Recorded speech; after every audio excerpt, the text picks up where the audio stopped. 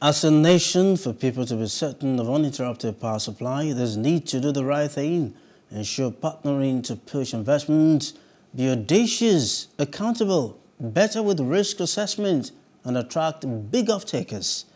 Governor Babajide Sanwo-Olu stated this on Wednesday at the Lagos Electricity Policy Stakeholders presentation hosted by the Ministry of Energy and Mineral Resources held in Victoria Island. Plus TV Africa Lagos State Government House correspondent Love Ikuku has details in this report. Lagos is the commercial nerve center and most populous state in Nigeria.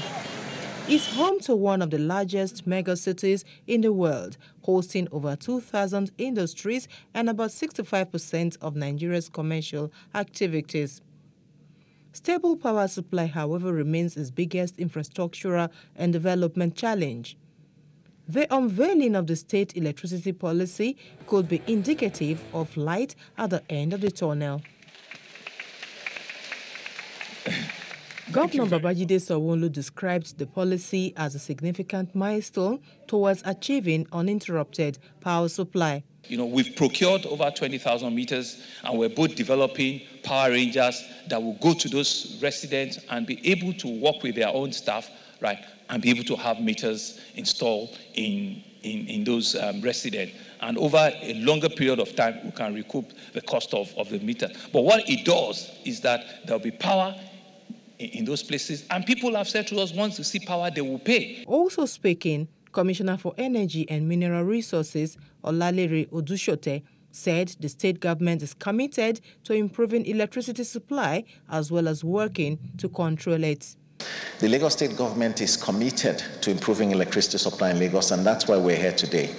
We have looked at the energy supplies in Lagos. We have looked at the ability to generate energy in Lagos. We've looked at the demand for energy supply in Lagos, and we've come up with a policy that is going to define and describe the short-term, the mid-term, and the long-term requirements that will lead to universal energy supply in Lagos. Panelists at the event called for a coordinated approach towards strengthening relationships as well as looking for alternate energy to ensure uninterrupted electricity supply. We, we see a huge opportunity. We, we would like to really see a bit more of that you know, coordinated approach right? Because it's not a capital problem, as we can see. It's not a capital problem. It is more of a coordination um, problem um, that we need to resolve. If we require industrialization commensurate with the population, then electricity supply should be our number one priority. And there, I will commend the governor for even starting this at all. The policy is expected to drive yes, development towards a future where security and sustainability of electricity supply is assured, and it also seeks to contribute to the reduction of carbon emissions, thus improving the living conditions of Lagosians. From Lagos, Love Ikuku Oyedoku for Plus TV Africa.